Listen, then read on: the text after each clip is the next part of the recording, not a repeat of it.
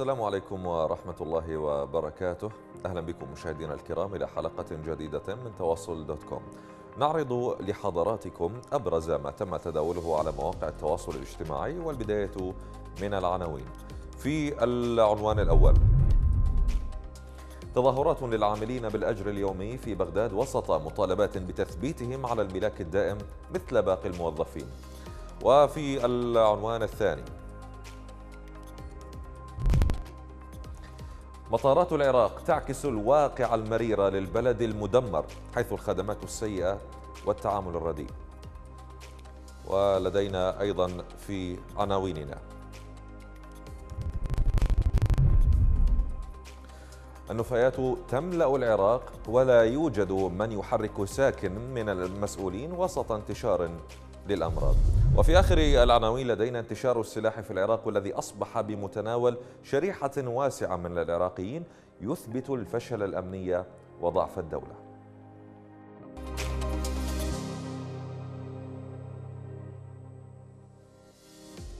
أهلا بكم. خرجت مظاهرة لعمال الأجر اليومي في وزارة الكهرباء ودوائرها حيث اجتمع أو اجتمعوا من جميع المحافظات وتظاهروا في بغداد قرب مقر الأمانة العامة لرئاسة الوزراء مطالبين بتثبيتهم أسوة بالعقود على ملاك الوزارة وإعطائهم حقوقهم حيث أن هذه الشريحة تمثل الشريحة الأهم في دوائر الكهرباء والمديريات حيث تقع على عاتقهم أغلب أعمال الصيانة في شبكات الكهرباء ودوائر التوزيع. فنشاهد. أهلا وسهلا. تجري الآن تظاهرة مركزية باسم أجور اليوميين في وزارة الكهرباء. ونشهد توافد بقية المحافظات إلى ساحة الاعتصام التي هي أمام مجلس رئاسة مجلس الوزراء.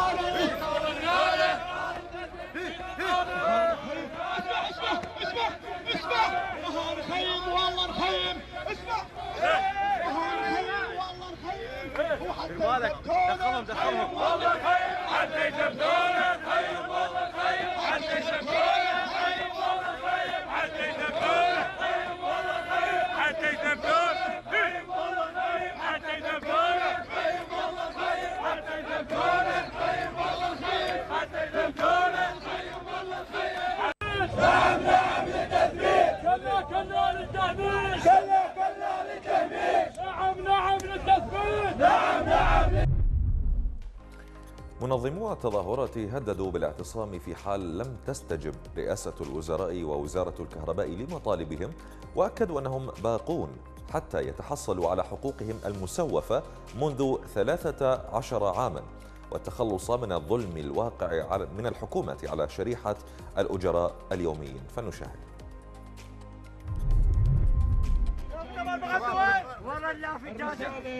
هنالك ظلم كبير على أجراء وزارة الكهرباء.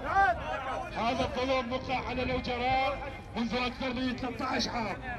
ولحد الآن التسويف والمماطلة اليوم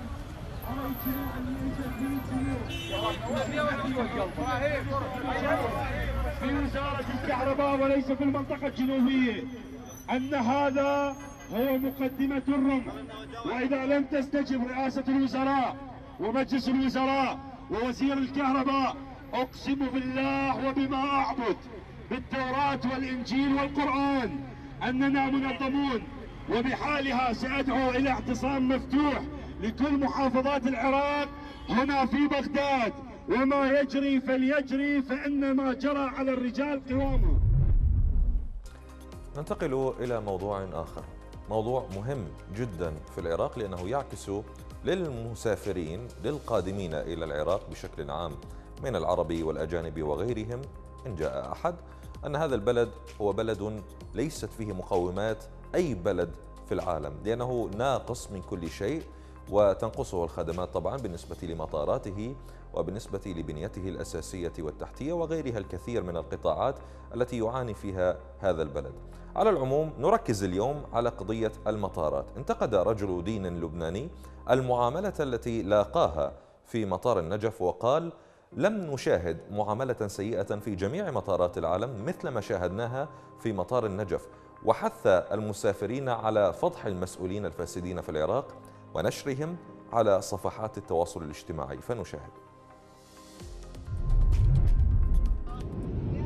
أما مطار النجف مطار أمير المؤمنين اللي بحب أمير المؤمنين واللي بده يحفظ التشيع واللي بده يحفظ كرامة هيدي المقامات ما بيسكت ما تكونوا نعاج بحياتكم ولا تتحولوا لنعاج أبدا. ما خص لا مسؤولين على حملات ولا تحطوا حالكم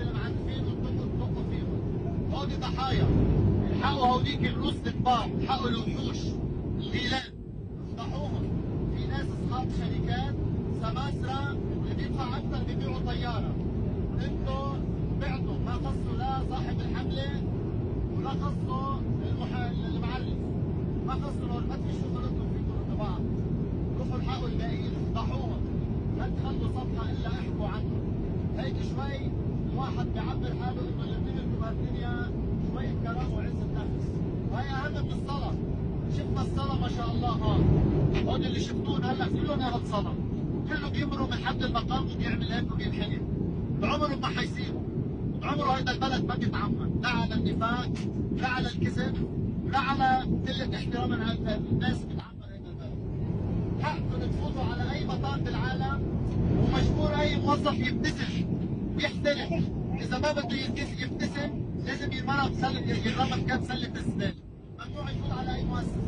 حقكم إنه يبتسم لكم ويحترم لكم ويقول لكم الكلمة الحلوة حتى لو اساتوا له فهو اسالكم بده يجركم. المشكل إذا أنتم مش عارفين شو صار كان في كم حج وحجه مسنين وعاملين يلا يلا امشي يلا امشي. هاي ما بنقبلها تكون بأي دولة بأوروبا وبأمريكا وبالعالم. كيف بدنا نقبلها بالنجف ما بنقبلها بالنجف وأنتم ما تقبلوا روحوا ولعوها على الفيسبوك وروحوا احكوا على هيدي المسؤولين ومسؤولين الشركات حتى الحاجات الثانية شوي ببركتكم من مطار النجف إلى مطار بغداد الدولي رصد غياب لموظفين مسؤولين عن توجيه المسافرين إلى طائراتهم في الرحلة القادمة من بغداد إلى إسطنبول يوم أمس. ما أدخل الناس في حيرة من أمرهم في ظل الفوضى التي شاهدوها. فنشاهد.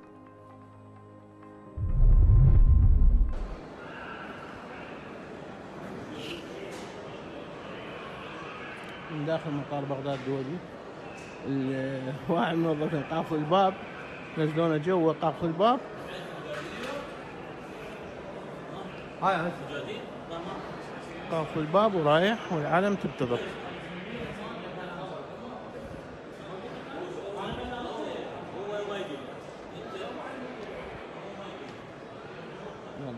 يلا صار لنا ربع ساعة. يقول قافل الباب رايح للحمامات. معقولة يعني هيك؟ بالانتقال إلى موضوع آخر مهم للغاية وهو يؤثر على حياة البشر بشكل عام. سوق القبلة في محافظة البصرة أصبح عبارة عن مكب للنفايات التي تراكمت ولا يوجد من يقوم برفعها. ويتساءل المواطنون أين دور البلدية في تنظيف المدينة ورفع النفايات؟ فنشاهد.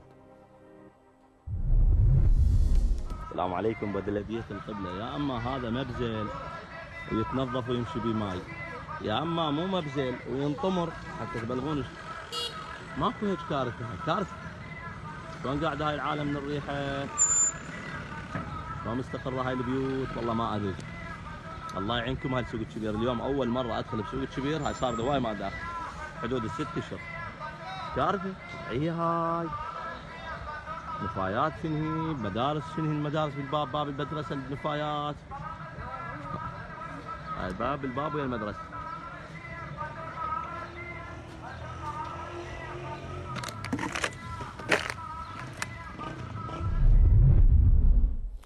لكم أن تتخيلوا حجم الأمراض وكميتها التي قد تصيب البشر المحيطين أو القاطنين في المناطق التي تتواجد فيها هذه النفايات. بالحديث عن الأمراض وعلاجها نتابع مع حضراتكم واجهة ومدخل مستشفى الحمزة العام في مدينة الديوانية بمحافظة القادسية.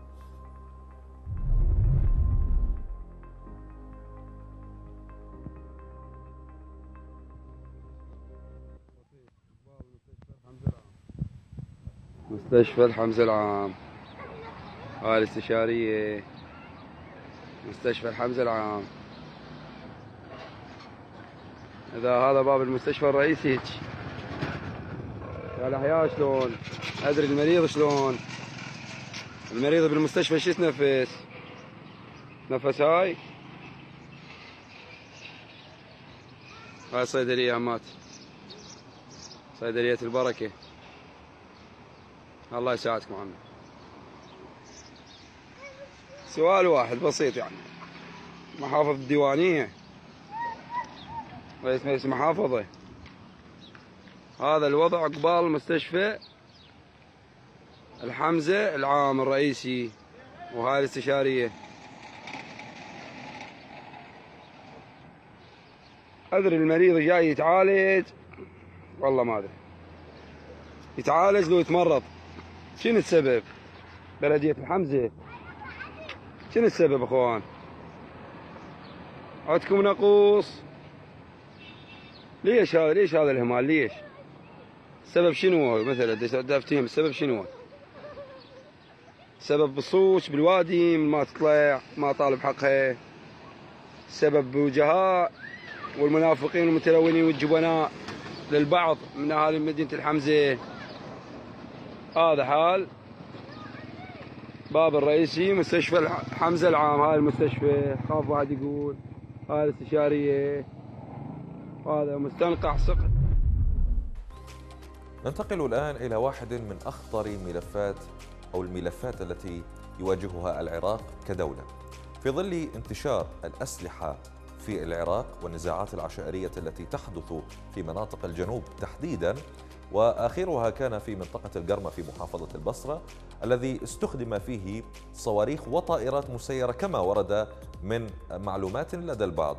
اليوم نزاع جديد بين جارين في مدينة الصدر الشرقيه بغداد استخدم فيه أسلحة نارية مما أثار استهجان المواطنين وغضبهم من الملف الأمني المنهار في العراق. دعونا نشاهد.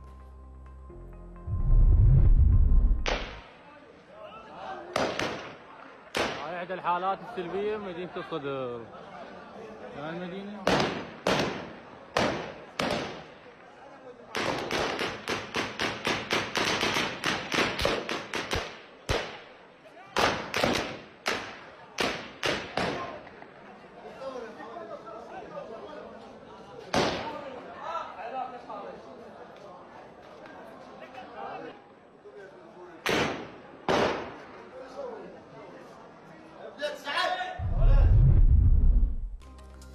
في هذا الإطار حيث أصابت رصاصة طائشة عريسا في ليلة زفافه بمحافظة بابل وأردته قتيلا حيث أفاد مصدر أمني في محافظة بابل أن عريسا قتل جراء رصاصة طائشة في ليلة زفافه جنوبي المحافظة.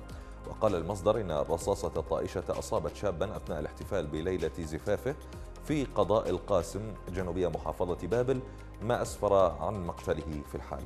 فنشاهد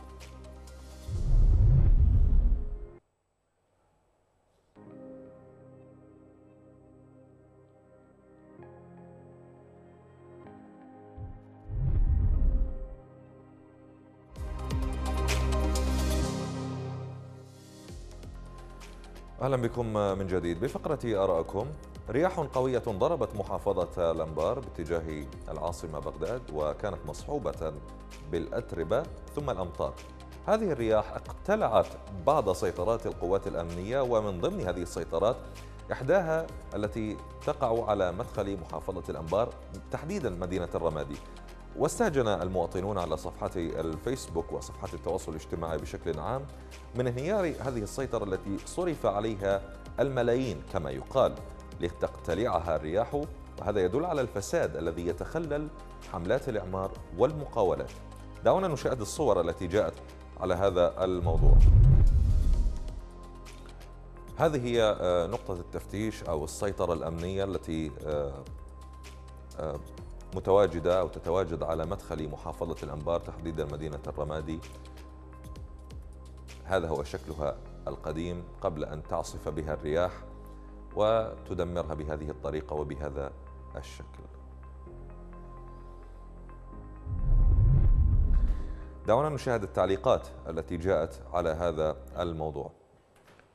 في أول تعليق لدينا بهاء يقول بعد ننتظر الفضيحة مال التبليط من يجي الصيف والحر شلون راح يموع في تعليق آخر مزهر يقول هو كم بوري وكم كيبل؟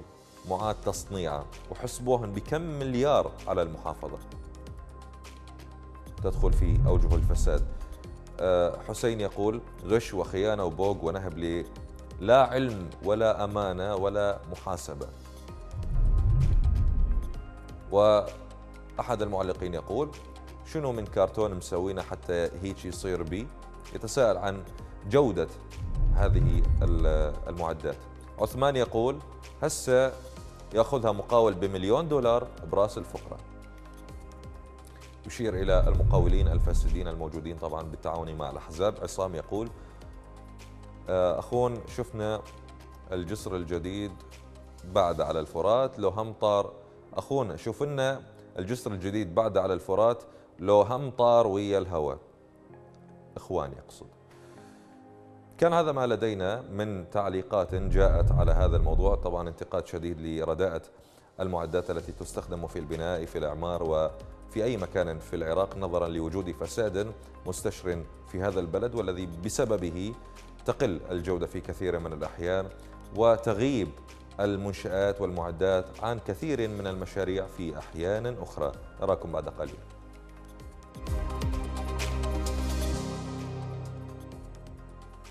أهلا بكم من جديد. الوسم في فقرة الهاشتاج هو العراق يريد. دعونا نشاهد التغريدات التي جاءت على هذا الوسم. علي يقول العراق يريد رئيسا باقي بالبلد لاعماره وحل مشاكله لا أن يكون سندباد. كل يوم في بلد. في آه، تغريدة أخرى.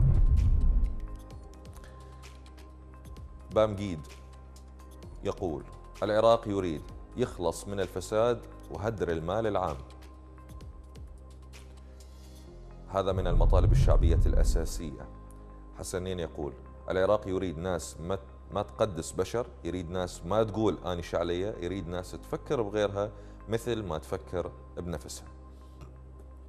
وفي آخر التعليقات لدينا أو التغريدات عفوا أحمد يقول العراق يريد الرجل المناسب في المكان المناسب. وهذا حقيقة ما ينقص العراق كبلد. نراكم بعد قليل.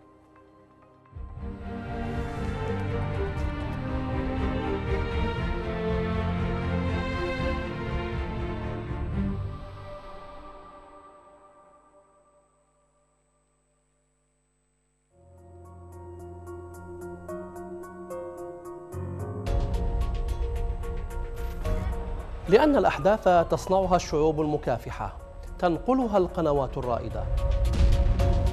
لأن فلسطين تعيش في قلوب الأحرار لا بد أن نعيش فيها ومعها. لأنها تستحق أكثر من مجرد تغطية إخبارية أعمق من نقاش وتحليل وأبعد مما وراء الأحداث. نحن عينك على فلسطين. برنامج من فلسطين. على قناة الرافدين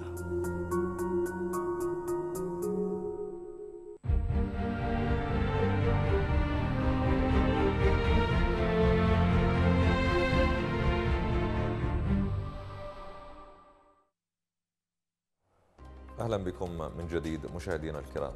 طبعا معركة تنظيم الدولة ما بين القوات الحكومية في العراق أو كانت في سوريا أو التحالف الدولي الذي قادته الولايات المتحدة، إيران، أطراف كثيرة تتواجد في العراق وسوريا وهناك مصالح كثيرة قد تكون مشتركة وقد تكون متباعدة أو متناقضة فيما بين الدول المحيطة والدول البعيدة عن العراق. لكن هناك مؤشرات تدل على أن حدود العراق قد تكون منطقة ملتهبة الصراع بين أطراف دولية لها مصالح في العراق وخارجه. دعونا نشاهد.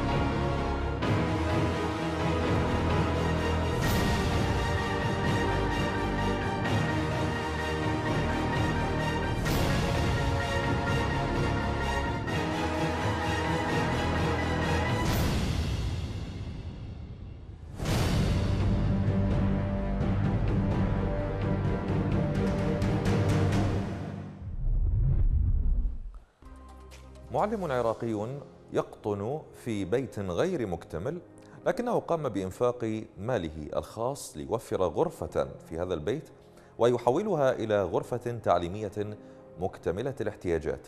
دعونا نشاهد. ها شو ما تضحكين.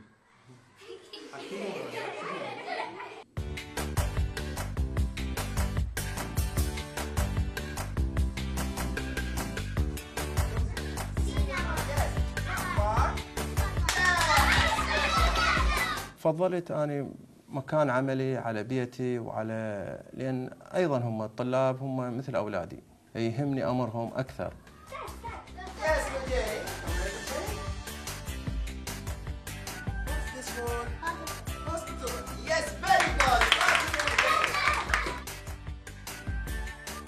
إحنا نتعامل ويا عقول ما نتعامل ويا آلات.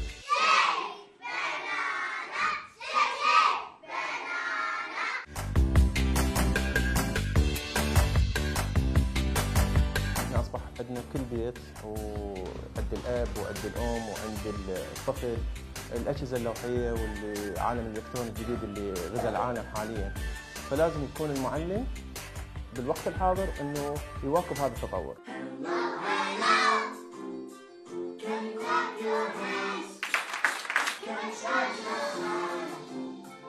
من خلال تجربتي إنه هذا الصف الإلكتروني اللي أقمته يعني جاي أشوف طلابي ما شاء الله صار تفاعلهم أقوى، صار نشاطهم أقوى، صار يعني قدرت أستنبط من عندهم أفكار حلوة وصار متمكنين من اللغة.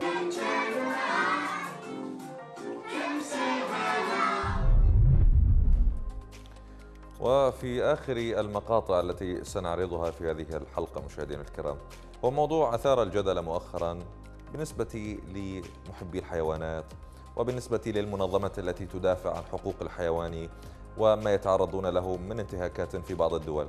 عموما في بلد غير متوقع أن تحدث فيه هذه الأمور لكن خرجت أستراليا بضربة قوية وهي اعتزامها أن تقتل مليوني قط ما أثار موجة غضب عالمية لما فيه من انتهاك لحقوق الحيوان كما يرى البعض. فنشاهد.